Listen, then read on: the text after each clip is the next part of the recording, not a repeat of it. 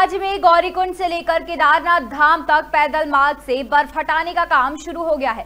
रुद्रप्रयाग जिला प्रशासन के निर्देश पर डीडीएमए ने केदारनाथ पैदल यात्रा मार्ग से बर्फ़ हटाने में 90 से अधिक मजदूर लगे हैं। हालाँकि अभी भी तीन से पाँच फीट बर्फ़ जमी है।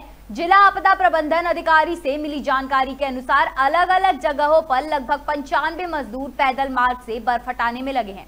अभी तक टीमों ने छोटी लीन चैली तक रास्ते की बर्फ़ हटा दी है। रुद्रप्रयाग से सत्यपाल नेगी की रिपोर्ट।